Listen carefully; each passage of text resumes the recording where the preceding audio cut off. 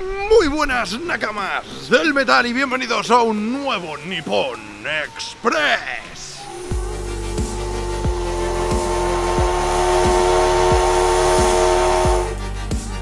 Bueno, hoy está muy complicado grabar en la calle, he salido y el tiempo está yéndose a la mierda, además de que tengo una cascada ahí detrás, mira qué bonito.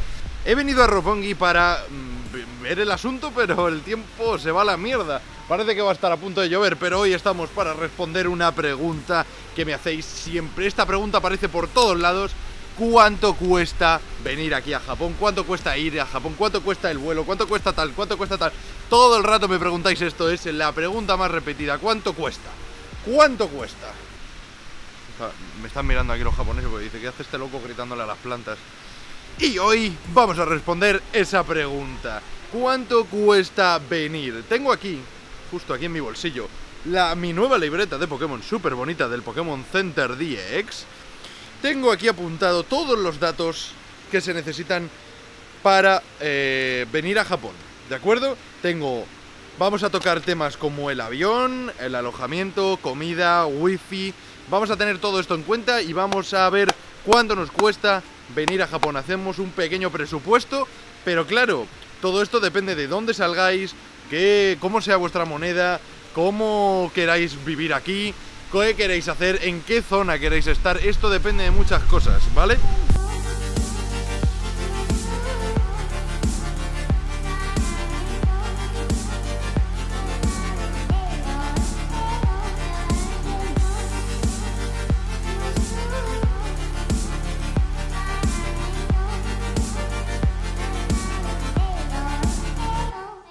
Os aviso que los precios van a ir en euros, en dólares y en yenes. Creo que son las monedas que se pueden entender bastante bien. Euros para España, dólares para todos los que estáis en América, hacéis la conversión para vuestro país. Y los yenes, porque evidentemente estamos aquí y es con el precio que vais a pagar si venís. Este vídeo os va a servir sobre todo si queréis venir a Japón y sobre todo si os queréis informar, ya de paso, pero si, os, si queréis venir, yo os recomiendo que vayáis apuntando para no gastaros demasiado o saber cuánto os vais a gastar. Así que sin más dilación empezamos con los precios. Para empezar, el vuelo. Evidentemente hay que llegar a este país. ¿Cómo se llega? Pues en avión. He estado informándome en varias aerolíneas y he sacado más o menos algo medio un precio, una media entre todo, evidentemente todo lo que vamos a contemplar en clase normal, turista, business no, porque business ya se va un poquito de precio. Vamos a ver, tengo aquí apuntados el vuelo de salida desde Madrid y de México. Sé que hay muchísimos países, pero bueno, es donde hay más gente que me ve y le pueda servir un poquito más. Pero bueno, hacéis vuestros cálculos también. El precio medio de la salida desde Madrid, desde Madrid, España, son 380 euros por vuelo. Eso habría que multiplicarlo por dos ya que tenéis que volver en algún momento, a no ser que pretendáis quedaros aquí, y entonces ya es un tema que no estamos contemplando. Pues sí, 380 euros, la moneda como siempre saldrá por aquí, los cambios y demás, porque si me pongo a decir todos, no acabamos nunca. Y la salida desde México, DF, México Capital, os saldría por 1119 dólares. Esta vez digo los dólares porque seguro que os viene mejor en México, ¿verdad? Se nota el cambio de, de dinero, se cambia se nota que cuesta más salir desde México, supongo que porque no salen tantos aviones con destino Japón, no tengo ni idea de por qué, pero sí que es bastante más caro, así que os saldría por más de 2.000 dólares solo el vuelo, cosa que es bastante. Ya vemos que el cambio de dinero de Madrid, de salir desde Madrid desde México es casi del doble, incluso mucho más del doble. Entonces, yo no sé deciros en cada, cada uno de vuestros países, porque puede que desde Bogotá valga más o menos, supongo que más, porque saldrán menos aviones, no tengo ni idea. Así que informaros por la aerolínea más conocida de vuestro país, o una de Japón, o la que vosotros os salga mejor. Pero esto es caro. El vuelo es de lo más caro que vais a encontrar.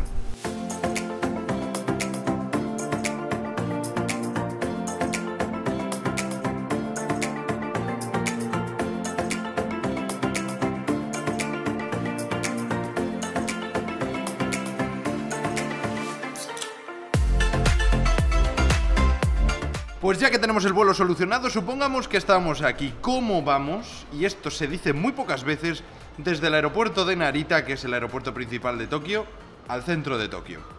Porque si no lo sabéis, el aeropuerto de Narita está en Narita, no está en Tokio, y está como a unos 70-80 kilómetros de distancia. que es muchísimo, muchísimo. Y esto poco se dice en los sitios eh, para viajar, de, para venir aquí a Japón. Para llegar desde el aeropuerto hasta el centro de Tokio tenemos muchísimas opciones. Podemos ir en autobús, en tren o incluso en taxi si queréis. Como mi recomendación y son los precios que os voy a poner, os dejo el Narita Express. Es un tren que tarda unos 55 minutos aproximadamente en llevaros justo a la estación de Tokio o os puede dejar antes si queréis. El precio se encuentra en unos 3.020 yenes aproximadamente y os digo yo, cómodo, rápido y sencillo de comprar. Decís allí en el mostrador, quiero ir a Tokio y os lleva a Tokio. ¡Bime! Pero claro, a lo mejor tenéis maletas y no os apetece ir con las maletas por ahí. Yo lo hice sin ningún problema, eso digo yo, el metro no, porque en el metro ya montarme en el primer día en metro, como que no. Pero también tenéis la opción de ir en taxi, eso sí, si tenéis mucha, mucha plata, mucho dinero, porque esto es caro de narices. Lo miro porque es de flipar.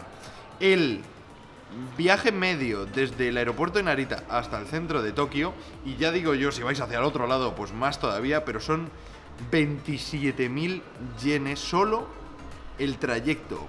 Vale que a lo mejor estáis muy cansados y os compensa. Pues si os compensa, bien. Eso ya ahí no me meto, pero para mí es una pasta en comparación con el Narita Express, que más o menos va a tardar lo mismo, lo que pasa que vais con otra gente en el tren. Y bueno, veis el paisaje y demás. Yo creo que es la mejor opción, el Narita Express os lo recomiendo. Pero bueno, como he dicho, evidentemente hay otras opciones. Tenéis el autobús e incluso tenéis otro tren que es el Skyliner. O incluso el tren normal, que también podéis cogerlo. Ya todo a vuestra disposición. Yo no me meto, pero como he dicho, Narita Express, que es el que yo cogí, recomendado.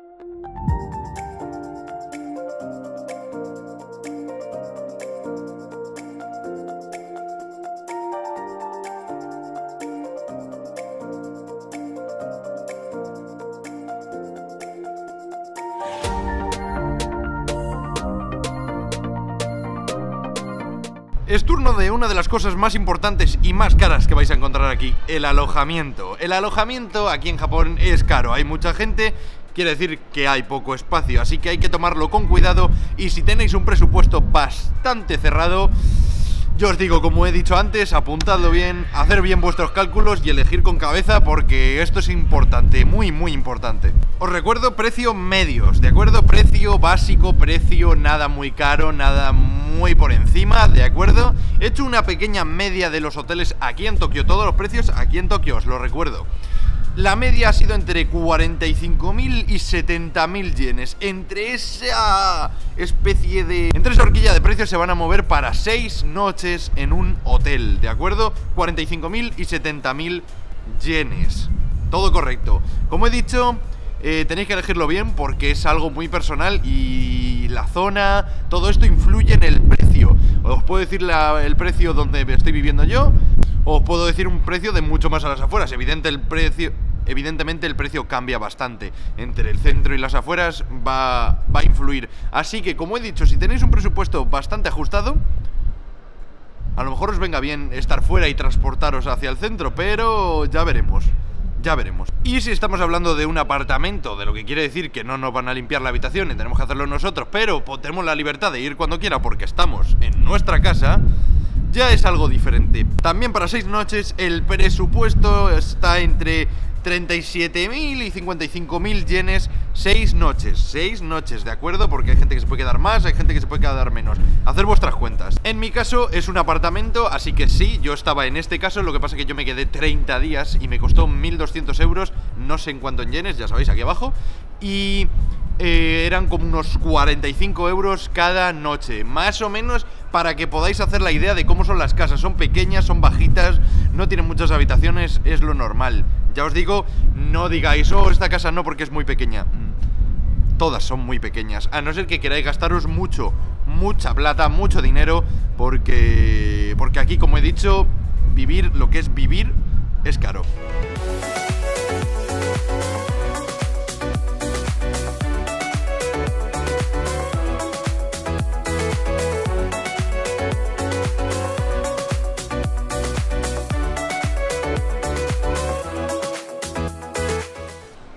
Ya que tenemos el alojamiento, el vuelo, ya tenemos lo básico para llegar hasta aquí, pero hay una cosa muy importante que no hemos hablado todavía. el Wi-Fi, el Wi-Fi. No tenemos internet. ¿Cómo vamos a postear fotos en Instagram de que estamos en Tokio? Pues habrá que ponerlo. Si no lo sabéis, el roaming de vuestra tarifa de móvil que tengáis va a ser brutal si no contratáis algo extra. Y para eso se necesita el Pocket Wi-Fi, el mejor invento que yo he conocido para extranjeros, sobre todo aquí, que es donde más se utiliza en todo el mundo, el Pocket Wi-Fi. ¿Qué es el Pocket Wi-Fi? Os estaréis preguntando si no tenéis ni idea. Es como llevar un router de internet, pero en el bolsillo, que se puedan conectar varios dispositivos y poder navegar en internet ilimitadamente. ¿Y cómo se contrata? Pues es muy fácil, os metéis en internet y buscáis Pocket Wi-Fi Japan o Pocket Wi-Fi Tokyo. Yo eh, la que contraté es Japan Wireless y el precio más o menos para 6 días también, ya os digo, hacer vuestros cálculos, de todas maneras... Eh, por cuanto más días contratéis, más barato os sale por día, pero claro, más caro al final. Tenéis que ver a ver cuándo os compensa a vosotros y cuánto tiempo queréis estar aquí en Japón con el Pocket Wi-Fi. Yo os recomiendo tenerlo siempre, todo el viaje. Y para 6 días son 5.250 yenes, 40 euros, 49 dólares. Podéis decir, ostras, para 6 días es muy caro, pero os digo yo que es, pero vamos, eh, indispensable. Tener el Pocket Wi-Fi lo necesitáis sobre todo si queréis ver películas, si queréis ver internet, si queréis navegar por las redes sociales, si queréis hacer lo que sea. Google Maps necesitáis y os digo yo que el Google Maps lo vais a necesitar aquí en Tokio y os va a venir muy bien. Y así como datos, si sabéis un poquito más o menos de cómo funciona subida y bajada, os digo yo que el Pocket Wi-Fi que yo contraté, uno normalito, normal y corriente, es el que utilizo para subir los vídeos. Y los vídeos pesan muchísimo y funciona bastante bien. Así que si podéis, saltaos el, roaming, saltaros, cogeros una tarjeta SIM e ir directamente a por un Pocket Wi-Fi. Recomendado al 100% y podréis conectar, pues creo que son 8 o 6 dispositivos. Súper útil, súper útil. Ya lo he dicho, pero por si alguien ha estado un poquito despistado, os digo que es ilimitado. Podéis descargar y subir todo. O sea, no hay, no hay un control. Es hasta el final, todos los días que hayas contratado, vas a tener todo el internet que quieras. Es que son todo ventajas, excepto el precio, pero bueno, que tampoco es algo muy, muy caro. Os digo yo que... que vale la pena, worth it.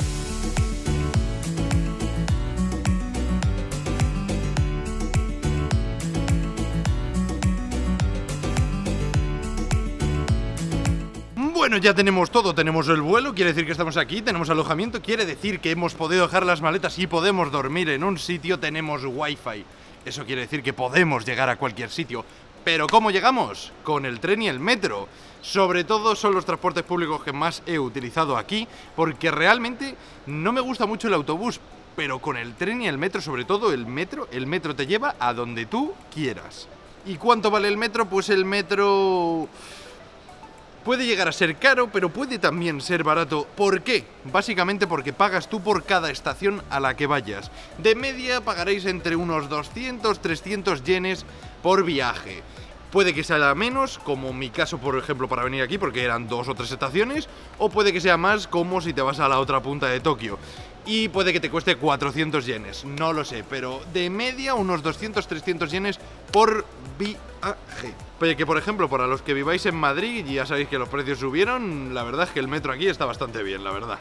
El metro tiene una extensísima red de trenes, hay dos empresas de trenes, la Japan Rail y el eh, Toei Subway, creo que se llama, exactamente, perdonad si me equivoco, pero es Toei, creo, y, y Japan Rail. Que justo esta última empresa, la Japan Rail, me lleva al siguiente paso. Puede que queráis ir a Osaka o a Kioto y mm, tengáis que coger el Shinkansen, que es como el tren de alta velocidad, el tren bala, el famoso tren bala de Japón, pues para eso necesitaréis un Japan Rail Pass, básicamente porque nos sale mucho más barato a los extranjeros. Unos 216 yenes más o menos por 7 días de viajes ilimitados en toda la red ferroviaria de Japan Rail Pass. Básicamente con ese pase vais a tener eh, viajes ilimitados en el Shinkansen, el tren bala, para poder ir a Kioto, a Osaka, a Hiroshima o a donde queráis ir, básicamente. Eso sí, como ya habéis visto, el precio es muy, muy caro porque el tren bala es muy, muy caro. Solo un billete del tren bala cuesta muchísimo, así que para los extranjeros nos compensa muchísimo sacarnos un Japan Rail Pass. Y si os vais a quedar mucho a estancia en Japón y sobre todo en Tokio, como he hecho yo, por ejemplo, pillaros un Japan Rail Pass para los días que os vayáis de Tokio y lo demás eh, os quedáis en Tokio sin utilizar el Japan Rail Pass para no eh, pagar muchísimo. Pero en resumidas cuentas el transporte público aquí en Japón es bastante, bastante, bastante rápido, sobre todo puntual y de precio no anda nada, nada mal en comparación con España, sobre todo en Madrid, que es donde yo vivo.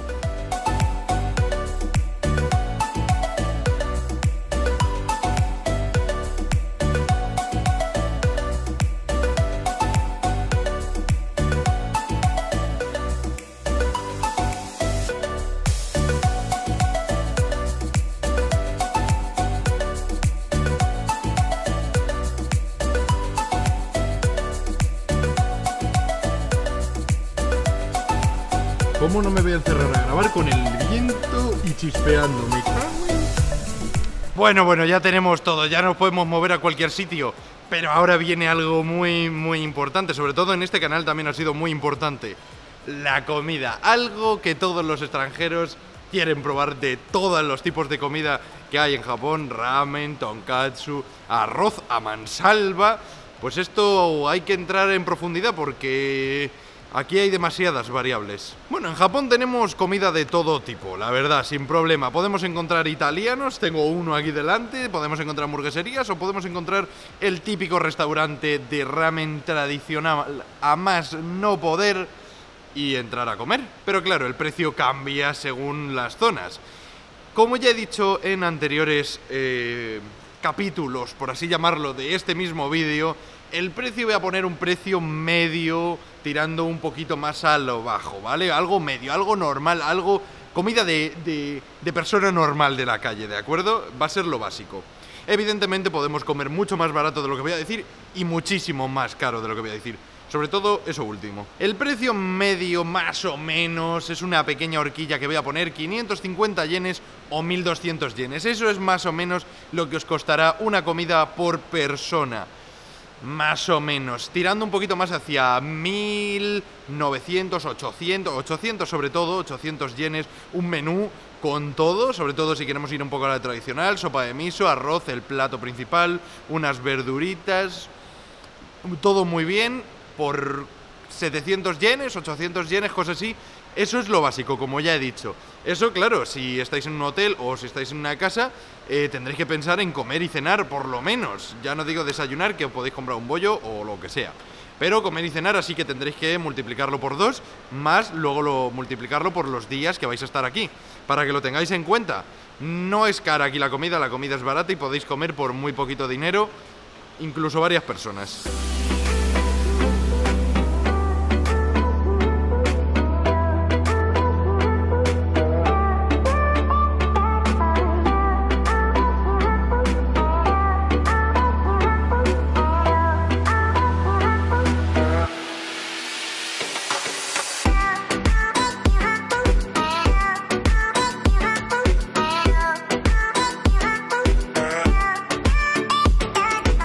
Pues nada, hasta aquí hemos llegado, espero que os haya gustado, que os haya ayudado mucho, que hayáis comprendido un poquito más de cuánto cuesta venir aquí, cuánto cuesta quedarse aquí, por lo menos unos días. Así que podéis dejar un buen like si os ha gustado y os ha ayudado, suscribiros y nos vemos en el próximo vídeo con más. ¡Chao!